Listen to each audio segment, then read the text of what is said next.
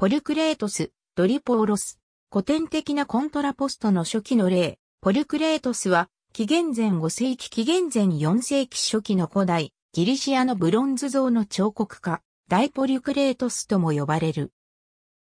ペーディアス、ミュロン、クレシラスに続く古典時代の重要な彫刻家、ダイプリニウスが美術のことを書くのに参考にした紀元前4世紀のクセノクラテスが書いたとされるカタログではペーディアスとミュロンの間にランク付けされている。ギリシア人たちの意見ではポリュクレートスはアルゴス派で同時代のペーディアスと肩を並べるということだった。しかし、ポリュクレートスがエフェソスのために作ったアマゾン像は同じ時代にペーディアスやクレシラスが作ったアマゾン像よりも優れていると考えられた。また、アルゴスのヘーラー神殿の金と象牙で作られたポリュクレートスの巨大なヘーラーの崇拝像は、ペーディアスのゼウス像と同格だとされた。ポリュクレートスの作った有名な男性ヌードのブロンズ像、ドリュポーロスは、ローマ時代のおびただしい複製のフォルムの中に生き残っている。ポルクレートスは、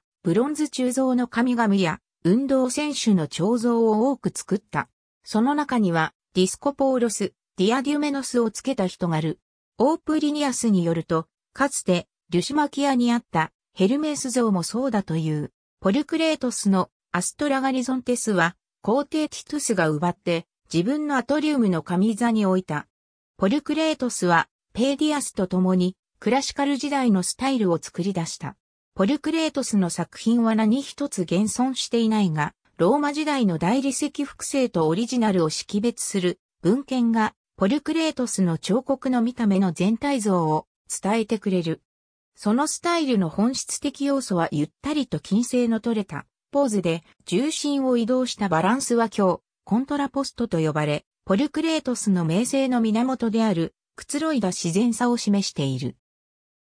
ポリュクレートス、ディアデュメノスのローマの大理石複製、アテネ国立考古学博物館所蔵、ポリュクレートス、ディスコポーロス、大英博物館所蔵。ポリュクレートスは意図的に彫刻への新しいアプローチを創造した。ポリュクレートスはカノンという論文を執筆し、さらにその美学理論を試みる男性ヌード像を例として作り、それは美術家たちからポルクレートスのカノンと呼ばれた。このブロンズ像は現存していないが、古代の著述家たちの本が伝えるところでは、その主な理論は、シンメトリア、ヒポクラテスの言う、イソノミア、リュトモスという言葉で表現されている。完全性は多数の要素の集まりからなる、と彼は言った。彫刻は定義可能な部分から明確に構成され、すべては理想的数学的プロポーションポルクレートスの鋳造原型が粘土で作られたことの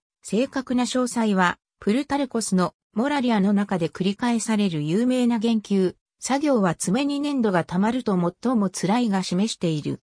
ポルクレートスとペーディアスは更新のための学校を持った最初の世代のギリシア彫刻家だった。ポルクレートスの学校は少なくとも3世代続いたが、最も華々しかったのは、紀元前3世紀代の終わりから紀元前2世紀初期までであった。ローマの著述家、ダイプリニウスとパウサニアスは、ポルクレートスの学校にいた約20人の彫刻家の名前を挙げ、彼らがポルクレートスが設定したバランスの理論と定義を厳守していたことを書いている。ポルクレートスの後継者として最も有名なのがスコパストリュシッポスである。息子のポルクレートスが活動したのは紀元前4世紀で運動選手の彫刻を作ったが、名声を得たのはむしろ建築家としてだった。エピダウロスの劇場を設計したのは彼である。ありがとうございます。